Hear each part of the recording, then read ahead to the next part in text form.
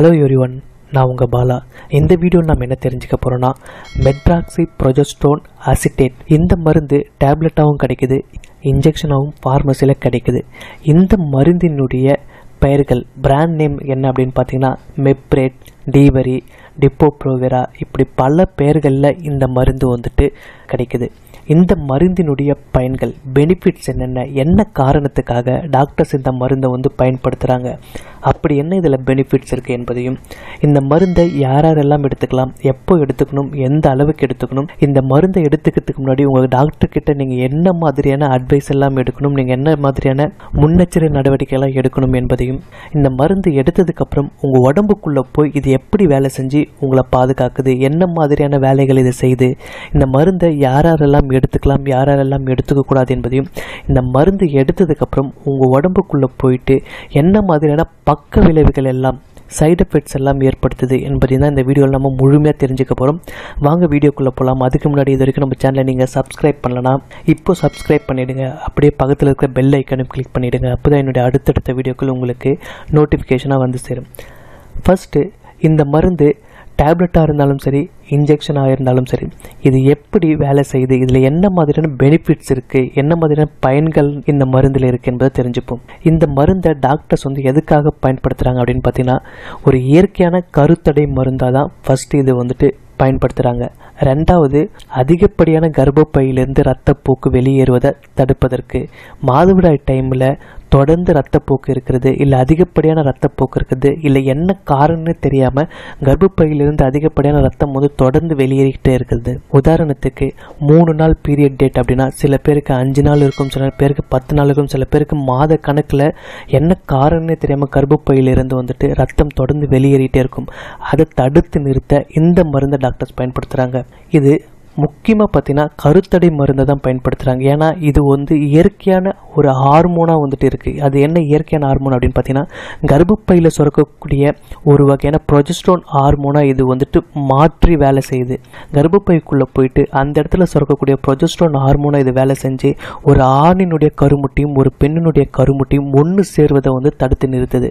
So இதனால் pregnant ஆகிறது வந்து தடைப்படுது. கர்ப்பம் ஆக முடியாமல் போகுது. ஸோ இதுதான் இந்த மருந்தினுடைய ஒரு முக்கியமான வேலையாக இருக்குது இந்த மருந்தை எடுத்ததுக்கப்புறம் கர்ப்பப்பையில் போயிட்டு இது எப்படி வேலை செய்யுது அப்படின்னு பார்த்தீங்கன்னா இது ஒரு இயற்கையான ப்ரொஜஸ்டோன் ஹார்மோனாக இது வந்து தன்னை மாற்றிக்குது ஸோ இதனால் என்ன ஆகுது அப்படின்னு பார்த்தீங்கன்னா ஒரு ஆணினுடைய விந்து உள்ள கர்ப்பப்பைக்குள்ளே என்ட்ராகிற அந்த வாய்ப்பகுதியை ஒரு சளி மாதிரியான திரவம் கொண்டு அதை க்ளோஸ் பண்ணிடுது. அந்த வாய்ப்பகுதியை மூடிவிடுது.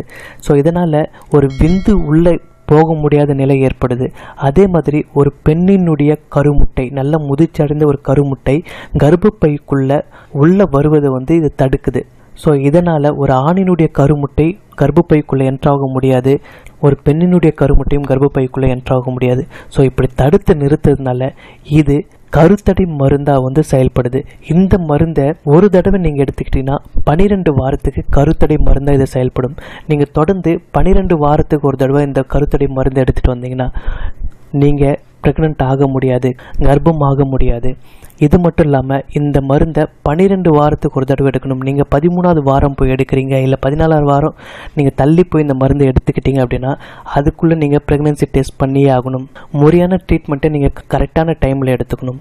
அதே மாதிரி இப்போ நீங்கள் ப்ரெக்னென்ட் ஆகணும் அப்படின்னு முடிவு பண்ணியிருக்கீங்க இல்லை ஃப்யூச்சரில் ப்ரெக்னென்ட் ஆகணும் அப்படின்னு நீங்கள் முடிவு பண்ணிங்கன்னா இந்த மருந்தை குறைஞ்சது ஒரு மூணு மாதத்துக்கு நீங்கள் எடுத்துக்கக்கூடாது நீங்கள் அப்படி எடுத்துக்காமல் இருக்கும்போது அடுத்த மூணு மாதத்துலேருந்து ஒரு வருஷத்துக்குள்ளே நீங்கள் ப்ரெக்னென்ட் ஆகிறதுக்கான வாய்ப்புகள் நிறையவே இருக்குது ஸோ இந்த மருந்து நீங்கள் ஸ்டாப் பண்ணதுக்கப்புறம் குறைஞ்ச ஒரு மூணு மாதத்துக்காச்சும் உங்கள் உடம்புலேயே இருக்கும். அதுக்கப்புறம் தான் நீங்கள் ப்ரெக்னென்ட்டே ஆக முடியும். ஸோ இந்த மருந்து பாதுகாப்பானது தான் ஒரு இயற்கையான ப்ரெக்னென்சி கருத்தடை மருந்தாக இது வந்து செயல்படுது. ஸோ அதனால் நீங்கள் ஃப்யூச்சரில் ப்ரெக்னென்ட் ஆகிறதுல எந்த விதமான பாதிப்பும் இது ஏற்படுத்தாது. ஸோ அதனால் இதை நீங்கள் தாராளமாக உங்களுடைய டாக்டருடைய அட்வைஸ் படி இந்த மருந்தை நீங்கள் எடுத்துக்கலாம். அடுத்து இந்த மருந்தை யார் யார் எல்லாம் எடுத்துக்கக்கூடாது அப்படின்னு பார்த்தீங்கன்னா ஹைப்பர் சென்சிட்டிவால் பாதிக்கப்பட்டிருக்கவங்க இந்த மருந்து எடுத்துக்கக்கூடாது ப்ரெக்னெண்ட்டாக இருக்கிறவங்க கர்ப்பமாக இருக்கிறவங்க இந்த மருந்து எடுத்துக்கக்கூடாது கல்லீரல் நோயால் பாதிக்கப்பட்டிருக்கவங்க மூளை நோயால் பாதிக்கப்பட்டிருக்கவங்க இதயம் சம்மந்தப்பட்ட நோயால் பாதிக்கப்பட்டிருக்கவங்க இவங்க எல்லாம் இந்த மருந்து எடுத்துக்கக்கூடாது. இதை தவிர்த்து நீங்கள் அபார்ஷன் பண்ணதுக்கப்புறம் ப்ரெக்னென்ட் இருக்கீங்க அப்படின்னா இந்த மருந்து நீங்கள் எடுத்துக்கக்கூடாது. குழந்தைக்கு தாய்ப்பால் கொடுக்குறவங்க இந்த மருந்து எடுத்துக்கக்கூடாது. மார்பக புற்றுநோய் மற்றும் பிற பொறுப்புகளில் புற்றுநோயால் பாதிக்கப்பட்டிருக்கவங்க இந்த மருந்தை எடுத்துக்கொள்ளக்கூடாது.